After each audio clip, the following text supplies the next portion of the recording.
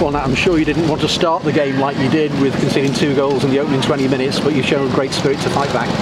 Yeah, obviously, you know, we'll look back at the goals, but you know, at the time, I think you know they're, they're poor goals to see, especially from a defensive point of view. I think you know we'll all be disappointed uh, looking looking back at the goals, but you know, obviously they, they went in and then, you know, it was just sort of all we could do is really just turn around, kick on, and just kind of just concentrate on our own game. And you know, the goal after that, Cal's goal was a great goal.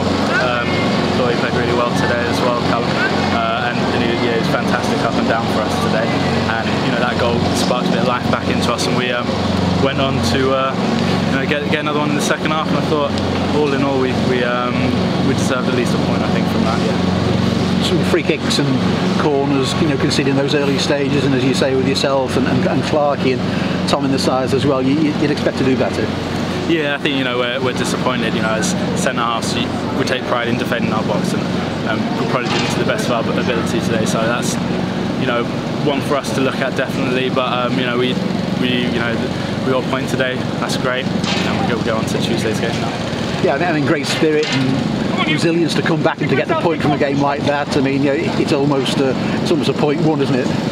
Uh, yeah, in a way, I think, I think you know we were, we were looking at it maybe it's a couple of points dropped as well because you know in the second half I thought we really pushed on. We really looked like we had we got some really good opportunities to um, to, to score a third really. So it was a bit in a way it's a little bit disappointing not to win it. You mentioned Callum. You know, I mean, it was a terrific finish. You know, for the goal, wasn't it? Yeah, yeah. He's, he's took it down really well and just cut inside and just hit a nice right foot passing shot into the bottom corner. It was just what we needed at the time. Young player making his way in the game, obviously, and another one, Paul Glatzel, and he provided the cross, you know, for Callum's goal, and then he got his reward for a, a really good performance as well. You know, you see young lads coming through, but he's shown a great attitude. Yeah, definitely. You see now he work he you know hard, he works so hard in games for us and he's like that day in day out of training as well and he's um and you know he's got his rewards there today. You know with an assist and a goal because it's, it's the least he's deserved after, after he's had a, you know he's had worked really hard. Yeah firstly, goal's a big deal for anybody, isn't it? You know, and uh, a young man who's, who's, sort of making his way in the game. Yeah, definitely. He'll, he'll be delighted, and uh,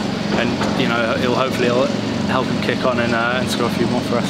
And then at 2-2, it looked as if you were in the ascendancy, but the boss was just saying there it was almost like a basketball game at the end because it was one end to the other. Yeah, it was. We were, yeah, we were saying that as well inside. It was very, uh, very end, end to end, and it was sort of just, uh, just a case of just keeping concentration for us as defenders really, and, and just we're trying, you know, obviously pushing for a goal didn't come, but you know, 2-2, so that's a good, good result for us. Quite a physical game, and you know, over 7,000 here. It, there's a good atmosphere inside this ground, isn't it? Yeah, it's a really good atmosphere. It's, it's, it's great, you know, all grounds like this. You like coming to play places like this and uh, playing uh, in this kind of an atmosphere. And uh, you know, we knew it was going to be a physical game. You know, as defenders, we love that kind of stuff, so that's fine.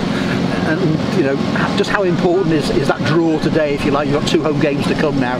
But you, have sort of stopped, you know, the way things were going in the league, and you, have got a chance now to push on Bradford City on Tuesday. Yeah, yeah. Obviously, we're going to, we're just going to try and uh, kick on, just to you know, pick up pick up more points, and that's all we can do. Look to the next game, try and win that, and carry on from there.